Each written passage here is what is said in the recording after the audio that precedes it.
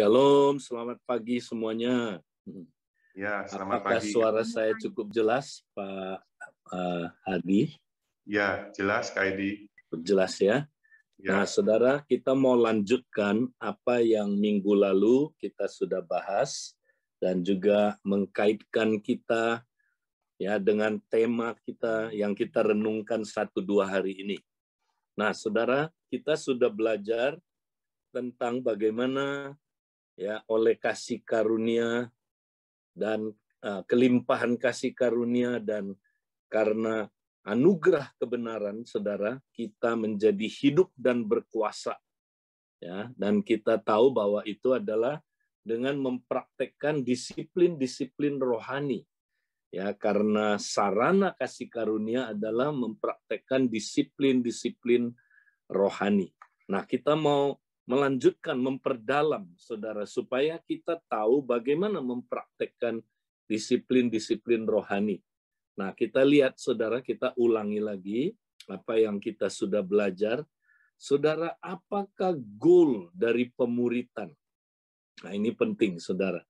Goal dari pemuritan adalah kita, saudaraku, mengalami pembaharuan manusia batinnya setiap hari masih ingat saudara? Ya, kita mengalami renovasi, pembaharuan manusia batinia. Ya, kalau di industri disebut manusia roh, ya itu sama aja, saudara. Terus menerus, ya sampai kita menjadi serupa dengan Kristus, ya saudara. Nah, bagaimana caranya kita menjadi serupa dengan Kristus, manusia batinianya ayat 17 sebab penderitaan ringan yang sekarang ini mengerjakan bagi kami kemuliaan kekal yang melebihi segala-galanya jauh lebih besar daripada penderitaan kami. Jadi saudara, ini hanya bisa tercapai lewat penderitaan. Nah, gawatnya gereja sekarang sudah menjauhi penderitaan ya menyunatnya menghilangkannya terutama ajaran-ajaran ya cheap grace saudaraku ajaran-ajaran hyper grace menghilangkan penderitaan saudara ya. Nah ajaran-ajaran teologi kemakmuran yang ekstrim meniadakan saudaraku penderitaan. Nah ini bahaya saudara. Padahal tanpa penderitaan kita nggak bisa mencapai saudaraku ya renovasi itu. Pembaharuan ya setiap hari sampai kita serupa dengan Kristus ya saudara. Nggak bisa nggak bisa terjadi tanpa penderitaan. Nah penderitaan yang dimaksud itu apa? Yang dari luar. Penderitaan yang dari luar hidup kita saudara. Nah kita kan baru renungkan Roma 8 ya kan? Kalau nggak ada penderitaan kita nggak bisa menjadi dewasa ya menjadi saudaraku seperti yang Tuhan inginkan ya. Penderitaan-penderitaan dari luar itu pencobaan ujian situasi yang nggak nyaman ya kayak sekarang ini pandemik COVID-19 itu semua Tuhan izinkan saudara. Ya Tuhan izinkan. Itu adalah saudaraku ya alat Tuhan untuk membawa kita mengalami renovare tadi itu, mengalami pembaharuan di dalam kita. Ya, saudara, kalau tanpa itu kita nggak bisa. Yesus saja belajar taat lewat penderitaan. Nah, makanya gereja zaman akhir haruslah gereja yang merangkul penderitaan, jangan menjauhi. Nah, tapi kita enggak, saudara. Lihat aja doa-doa kita. Kita pengen lari dari penderitaan, pengen dapat quick solution, ya, solusi yang cepat. Nah, ini enggak akan merubah kita, saudara. Jadi kita mesti belajar lewat penderitaan. Nah, itu penderitaan yang di luar. Penderitaan yang di dalam. Nah, kalau saudara baca konteksnya, adalah penderitaan-penderitaan karena kita tiap hari diserahkan kepada maut ya supaya apa saudaraku? Supaya kehidupan Kristus yang di dalam kita menjadi nyata. Ya jadi saudara ini apa? Saudara inilah praktek disiplin-disiplin rohani menyangkal diri, ya saudara. Waktu kita praktek disiplin-disiplin rohani ini, kita membawa kematian Yesus setiap hari, ya senantiasa, maka barulah kehidupan Kristus ya dapat nyata di dalam kita, saudara. Barulah kita diubah makin serupa dengan Kristus. Ya, jadi saudara, kita nggak bisa berubah tanpa penderitaan waktu kita praktek disiplin-disiplin rohani. Nggak enak, saudara, memang. Ya, nggak enak. Tapi Tuhan bilang, kuk aku itu ringan dan enak rasanya. Wow, ini saudaraku janji Tuhan yang luar biasa. Ya yang Yongki kemarin berapa waktu yang lalu ngomong ya kalau ikut Tuhan Yesus itu ngeri-ngeri sedap. Ngeri dulu tapi ujungnya sedap. Daripada ikut dunia saudara sedap ngeri-ngeri sedap dulu tapi ujungnya ngeri ya. Nah saudara jadi kita tidak bisa lepas dari penderitaan yang dari dalam. Ya dari dalam diri kita maupun antar diri kita sendiri. Saudara Tuhan izinkan ya ada apa saudara? Penderitaan lewat konflik-konflik ya saudara. Kita nggak cocok satu dengan yang lain saudara ya kita merasa saudaraku aduh dia kurang ini kurang itu. Padahal kita sendiri kurang ajar ya saudara. Kurang belajar dari Tuhan.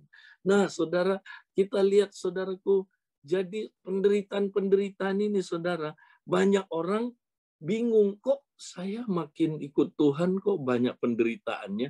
Nah, kita mesti tahu itu ujungnya adalah supaya kita mengalami renovare ya tiap hari renovare ya supaya kita diperbaharui dari dalam ya makanya kalau ada konflik di kompak di komsel di di kepemimpinan jangan lari saudara jangan lari hadapin itu ya dengan praktek disiplin-disiplin rohani. Nah, nanti kita belajar saudaraku ya. Dengan praktek disiplin-disiplin rohani kita akan menang saudaraku. Kita akan melewati bahkan penderitaan itu dipakai Tuhan untuk mengubah kita makin serupa dengan Kristus saudara. Ya. Jadi saudara, kita harus punya goal. Nah, ini tolong catat saudara ini penting ya goal kita saudaraku sangat penting ya goal kita apa dalam pemuritan saudara. Ya menjadi serupa dengan Kristus ya. Tapi bagaimana caranya? Yaitu lewat pembentukan manusia roh yang tiap hari itu pembentukan manusia batinnya tiap hari. Kita harus punya goal ini saudara ya. Nah ini disebut intentional spiritual formation, intentional. Harus apa, saudaraku, disengaja. Sorry kalau saudara nggak pernah sengaja membuat goal ini dalam hidup saudara, nggak akan pernah tercapai, saudara. Mari kita hari ini punya goal sengaja, ya ingin saudaraku diubahkan tiap hari manusia rohnya, manusia batinianya, supaya kita makin serupa dengan Kristus tiap hari. Nah, itu dia. Ini pembentukan manusia roh yang intensional harus terjadi dalam hidup kita. Harus kita buat. Kalau Anda tidak buat, Anda sudah gagal dari awal. Nah, kalau ini tidak jadi goal, saudara, kita miss rencana Tuhan. Nah, ingat saudaraku renungan kemarin, saudara. Ya, kemarin nih Roma 8 ya sampai ayat 30 kalau nggak salah renungan saudara. Nah, ayat 28 saya bacakan. Kita tahu sekarang bahwa Allah ini nggak ada di sini ya, saya tambahin aja. Kita tahu sekarang bahwa Allah turut bekerja dalam segala sesuatu untuk mendatangkan kebaikan bagi mereka yang mengasihi Dia, yaitu bagi mereka yang terpanggil sesuai dengan rencana Allah. Nah, saudara ingat, Allah turut bekerja dalam berapa hal? Segala hal, segala hal yang enak, yang nggak enak, yang kita sukai, yang kita nggak sukai, ya apa aja, saudara, segala hal untuk mendatangkan kebaikan bagi mereka yang mengasihi Dia. Wow, yaitu bagi mereka yang terpanggil sesuai dengan rencana Allah. Nah, ini jelas buat orang-orang yang ya pilihannya Tuhan. Ya, Tuhan itu ya bekerja dalam segala sesuatu, mendatangkan kebaikan. Nah, banyak orang menafsirkan kebaikan di sini, saudara, adalah yang dia suka. Oh puji Tuhan, mendatangkan kebaikan itu gua tambah kaya ya. Puji Tuhan kalau gua nggak ada uang, gua dapat uang itu kebaikannya. Ya, wow. Kalau kita sakit kita sembuh, ya saudara bisa aja Tuhan bekerja begitu. Tapi tujuannya bukan itu. Ayat 7, ayat 29 bilang, sebab Nah, ini dia. Sebab ini alasannya. Sebab semua orang yang dipilihnya dari semula, mereka juga ditentukannya dari semula untuk menjadi serupa dengan gambaran anaknya. Supaya ia anaknya menjadi yang sulung di antara banyak saudara. Haleluya. Ya, tujuannya buat apa? Allah turut bekerja dalam segala hal mendatangkan kebaikan. Jadi kebaikan itu adalah keserupaan dengan gambar anaknya. Jadi saudara, kalau Allah ya intensinya ya adalah untuk ini, membawa saudara serupa dengan apa? Ha? dengan gambaran anaknya lewat segala hal, lewat segala hal. Bayangin saudara, Allah tujuannya cuma itu. Kita tujuannya nggak karu-karuan, nggak tahu ke mana lah, ya. Cari berkat lah supaya kita sembuh lah supaya kita saudaraku makmur lah supaya kita sukses lah. Saudara ya Tuhan tujuan akhirnya adalah supaya kita serupa dengan gambaran anaknya. Nah dimulai dari tadi perubahan hati dulu perubahan manusia rohnya perubahan apa saudaraku ya spiritual man-nya itu dulu saudara. Ya itu yang perlu berubah semakin serupa dengan Kristus. Haleluya. Nah bagaimana caranya? Next. Makanya sebagai pemagang Yesus Yesus bawa kita pertama-tama harus taat sama khotbah di bukit ya nah hari ini kita bedah lebih dalam lagi saudara makanya kita dibawa praktek Matius 5 ya melihat kondisi manusia batin kita ya harus jujur kondisi manusia batin kita di dalam manusia batiniah kita, saudara. Masih banyak ada dosa-dosa yang masih tersimpan. Lebih tepat pikiran-pikiran dosa. Ya, saudara, kuasa dosa yang menguasai tubuh kita sehingga kita diikat dengan marah, ya, saudara. Kemudian apa, saudara? Eh, percabulan, ketidaksetiaan dengan covenant sehingga ada perceraian-perceraian. Kemudian saudaraku manipulatif, tidak jujur hidupnya.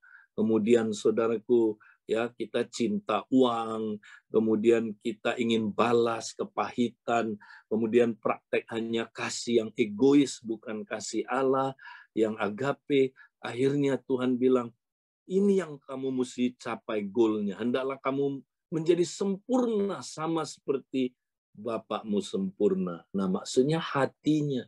Ya, kita harus punya hati seperti hati Bapak. Nah, itu yang Yesus saudaraku selalu ya ajarkan pada muridnya. Ya, supaya kita punya hati Bapak sama seperti Bapak hatinya. Ya, hati yang benar dan penuh kasih Saudaraku, itu yang Yesus mau kita punya hati yang demikian, yang benar dan penuh kasih. Nah, bagaimana mencapainya?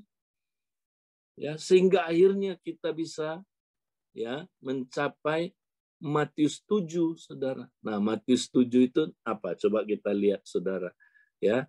Matius 7 next ayat 17 sampai 18 sehingga kita menjadi pohon yang baik menghasilkan buah yang baik, ya. Nah, ini tujuannya. Supaya hati kita, manusia batinnya kita, ya menjadi pohon yang baik. Nah, inilah kebaikan-kebaikan tadi yang Tuhan datangkan lewat penderitaan-penderitaan, lewat macam-macam Apa aja, segala hal. Ya, supaya kita jadi pohon yang baik. Ya, inilah keserupan dengan Kristus manusia batinia kita. Nah, kalau udah capai ini, aduh saudara, gampang. Mengalahkan dosa itu gampang. Ya, karena kita akan berbuah baik otomatis. Ya, nggak perlu ngeden, masih ingat? Nah, gimana caranya saudara? Harus praktek Matius 6 ya sampai Matius 7 ayat yang ke-11. Inilah disiplin-disiplin rohani. Nah, kita next kita akan sekarang belajar Saudara. Jadi Matius 6 adalah mengalami transformasi hati lewat disiplin-disiplin rohani, Saudara. Nah, ini kita mesti terus fokus ke sini, Saudara. Hidup kita jangan fokus jadi kaya, dapat berkat sembuh ya saudara. Wah puji Tuhan, saya mengalami masalah, eh ditolong Tuhan. Ya itu boleh saudaraku, itu adalah saudaraku berkat-berkat dari Tuhan, puji Tuhan, tapi itu bukan tujuan ujungnya. Nah, tujuan akhirnya supaya kita mengalami apa saudaraku? Transformasi hati supaya kita jadi serupa dengan Kristus yang di dalam. Ya. Nah, caranya gimana? Ya, kita praktek disiplin-disiplin rohani. Nah, sekarang saya mau kita fokus satu disiplin yang paling penting dulu, Saudara. Ya, nanti kita bahas beberapa secara singkat, tapi ini paling penting, Saudara disiplin kerahasiaan. Ini dulu, saudara mulai dari sini dulu. Ya, ingatlah, jangan kamu melakukan kewajiban agamamu di hadapan orang supaya dilihat mereka. Karena jika demikian, kamu tidak beroleh upah dari Bapakmu yang di sorga. Wow, ini keras banget saudaraku. Ini prinsip yang paling dasar kalau saudara mau praktek disiplin rohani, ini nyawanya semua disiplin-disiplin rohani. Kalau nggak ada ini, semua disiplin yang lain tidak mendatangkan apa saudaraku transformasi ya. Nah ini nyawanya. Jadi ini dulu kalau saudara mau ya saudara belajar yang benar mempraktekkan disiplin-disiplin rohani ya. Ini dulu. Ini namanya disiplin kerahasiaan. Nah, apa artinya saudara? Tuhan bilang, ingatlah, ingatlah.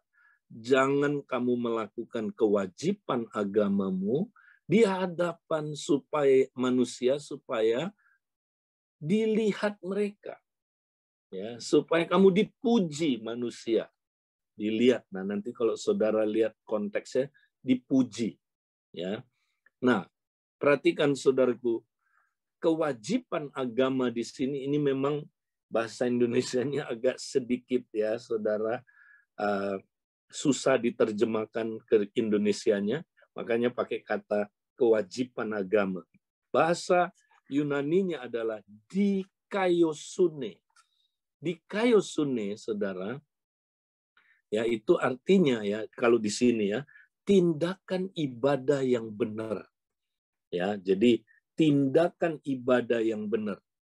Jadi gimana kita melakukan puasa dengan benar, saudara, melakukan saudaraku doa, memberi, ya banyak disiplin-disiplin di Matius 6. Nanti kita lihat lebih detail.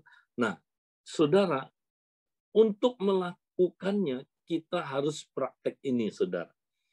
Nah, di kayosune ini penting ya saudara kewajiban agamamu jangan sampai kamu lakukan supaya dilihat manusia.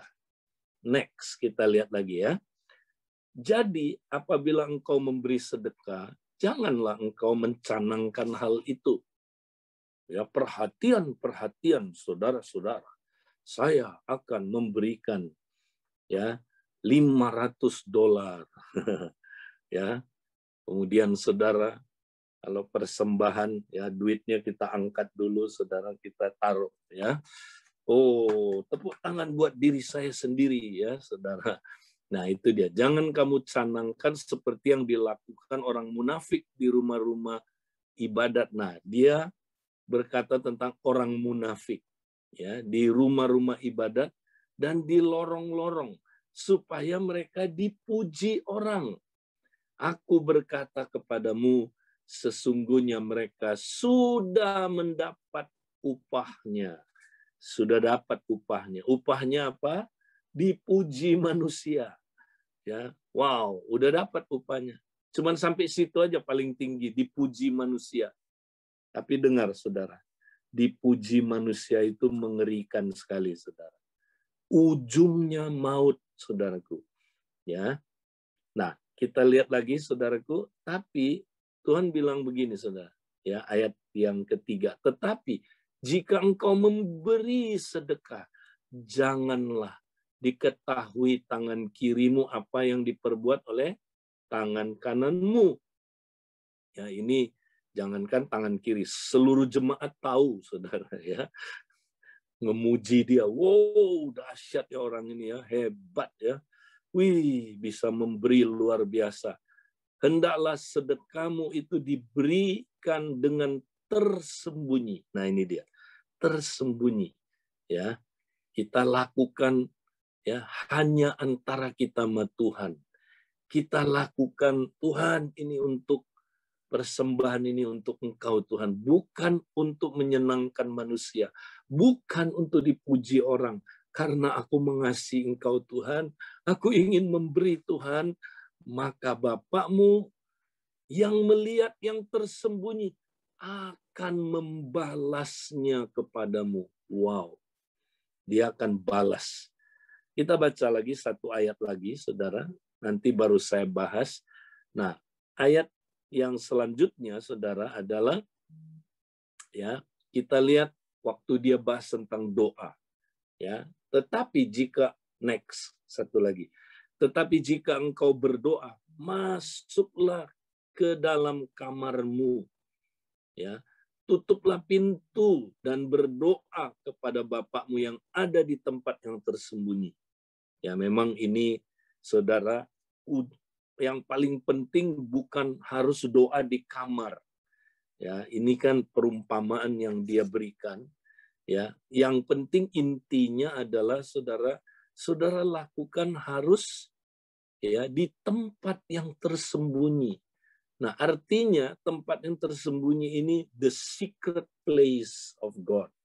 Ya, itu istilah di perjanjian lama di mana saudara ah, Mazmur 91 misalnya ya, itu the secret place yang berdiam ya di naungan Allah ya di tempat yang tersembunyi ini dia saudara ya di mana kita ya antara kita sama Tuhan ada perjumpaan pribadi intim dengan dia saudara ya kita bilang Tuhan aku mau lakukan semua disiplin rohani ini bukan untuk dipuji manusia bukan untuk ya supaya aku ya berkenan kepada manusia, tapi aku mau lakukan untuk engkau.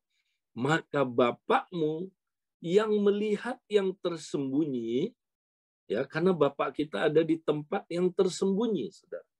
Jadi kalau saudara ya nggak praktek disiplin kerahasiaan, saudara nggak ketemu dengan Bapak. Saudara ketemu dengan pujian manusia, ketemu dengan hadirat manusia, saudara. Tapi kalau saudara lakukan ya dengan disiplin tersembunyi, maka saudara ketemu Tuhan.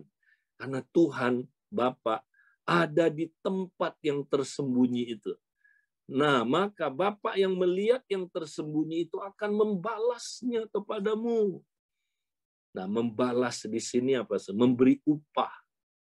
Ya, ini adalah bagian Tuhan untuk mengubah kita dari dalam untuk menjadi serupa dengan Kristus, saudara. Ini konteks ya. Jadi kalau saudara lakukan disiplin rohani, ya dengan ya ya dengan motivasi mempraktekkannya dengan benar, ya saudara dengan disiplin kerahasiaan, maka saudara akan ketemu dengan Tuhan. Wow, ya ketemu dengan dia di tempat yang tersembunyi maka Tuhan membalasnya. Nah, inilah saudaraku, ya, maka saudara makin berubah serupa Kristus. Itu maksudnya. Makin praktek, makin berubah serupa Kristus, makin berubah serupa Kristus. Tapi kalau saudara mempraktekannya ya, tidak dengan disiplin rahasia, maka apa yang terjadi saudara paling top dapat pujian manusia. Nah, tapi mengerikan saudara. Setelah pujian itu, ya saudara akan masuk ke dalam saudaraku kemunafikan. Roh munafik mulai bekerja dalam diri saudara. Nah, inilah roh agamawi mulai terjadi, saudara. Makanya disiplin rohani yang tidak dipraktekkan dengan disiplin kerahasiaan, itu akan jadi saudaraku disiplin agamawi yang mati, yang legalistik. Nah, ini kita nggak setuju, saudaraku. Ya, jadi saudaraku akhirnya saudara disiplin-disiplin rohani itu tidak berguna sama sekali, saudara. Tidak ada transformasi yang terjadi karena saudaraku Tuhan ya kita nggak ketemu dia di tempat yang tersembunyi. Makanya saudara ini penting. Ya. Nah, mari kita sekarang saudara praktek disiplin kerahasiaan dulu. Ya. Dan apa aja disiplin-disiplin yang lain harus disertai dengan disiplin kerahasiaan. Nah, sekarang saya mau cerita, saudara. Seperti apa disiplin kerahasiaan itu, saudara? Ya, singkat aja saya cerita, ya. Jadi ini adalah latihan ya untuk apa saudara mempunyai motivasi yang benar selalu ya jadi itu disiplin ini saudara ya kalau kita motivasinya benar saudara yaitu ya kita melakukan segala sesuatu untuk Tuhan bukan untuk manusia bukan untuk dipuji maka saudara motivasi kita akan jadi serupa dengan Kristus ya maka kita akan ngalamin transformasi nanti ya latihan untuk tidak tertipu dengan ya mencari reputasi, saudara. Nah, perhatikan, ini jebakan tipuan yang paling saudaraku merusak hidup kita, saudara, yaitu mencari reputasi. Ya.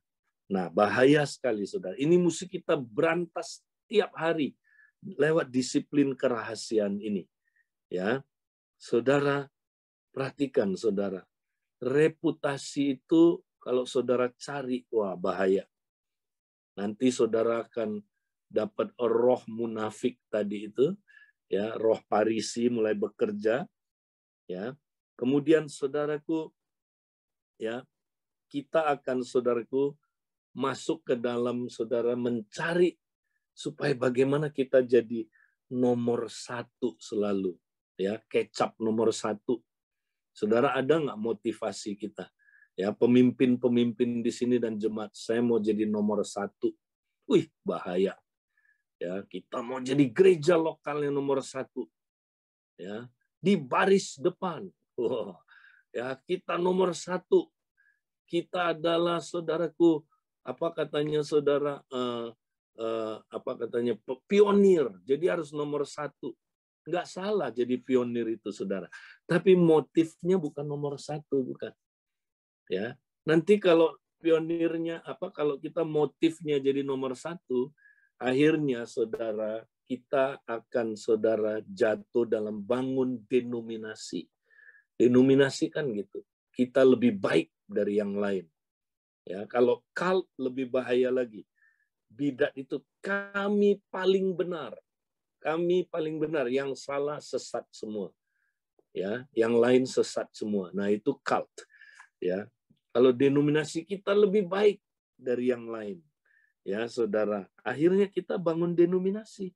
Jadi bukan kingdom lagi, akhirnya mendem.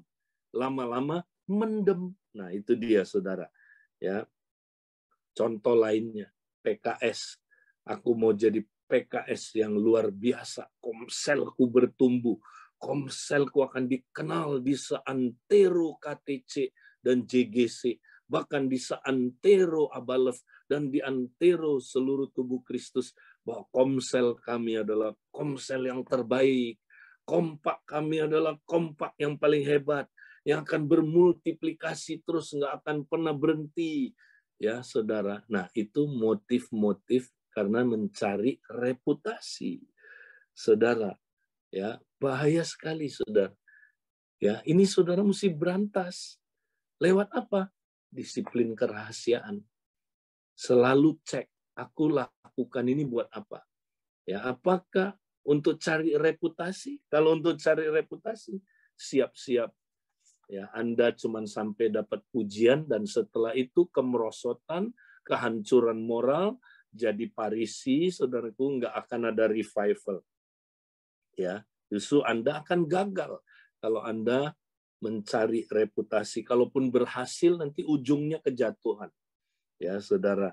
Oh bahkan ada orang membanggakan dosa-dosa lama. Wih ada saudara ya adu ngeri menceritakan ngerinya dosa dia dulu. Saudara nggak tahu ya. Wih ada orang bersaksi bangga banggain dulu. Wih saudara, ih saudara cuman memperkosa orang. Saya memperkosa mama lebih ngeri. Ya saudara. Jadi dia bangga sama dosa-dosa lamanya ya. Ya, nah, saudara, atau kita melebih-lebihkan suatu kesaksian supaya nama kita yang diingat, supaya reputasi kita, saudara. Ya, sama penyembahan juga begitu, saudara. Kita suka begitu kan? Ya, coba kebanyakan kita nyembah, kita ya saudara dilihat orang, wah langsung angkat tangan. Cia. Ya, saudara. Padahal ngantuk, Ya, begitu dilihat orang, hurra bakasantara bakatat. Nah, kenapa itu saudara? Itu respon otomatis untuk kelihatan baik. Untuk kita, saudaraku, ya melakukan sesuatu itu karena orang lain lihat. Nah, ini banyak, saudara. Ini dulu yang kita mesti urusin dalam mempraktekkan disiplin-disiplin rohani. Jadi saya dorong saudara, sebelum nanti kita lebih jauh lihat ya minggu-minggu depan Bagaimana praktek disiplin-disiplin rohani? Mari hari ini, saudara, kita mulai dengan disiplin rahasia, kerahasiaan. Ya, jadi saudara, kita mau praktek ini dulu. Baik, saudara, saya mohon maaf hari ini kita nggak ada tanya jawab karena ya di mesbah yang lain masih ada SPK Nah, nanti di minggu-minggu yang akan datang kalau atau yang sudah selesai nanti SPK satu dua minggu lagi, saudara. Nah, satu minggu lagi, sorry. Ya, jadi saya mohon maaf kita nggak ada tanya jawab hari ini, tapi mari saudara kita praktek disiplin kerahasiaan dulu, ya. Dan semua disiplin yang lain harus dilakukan dengan motif yang benar, ya, dengan saudaraku hati yang benar, supaya kita mengalami transformasi hati serupa dengan Kristus. Baik saudara, saya kembalikan dan saya mohon diri untuk kembali ke mesbah doa yang lain. Tuhan berkati saudara.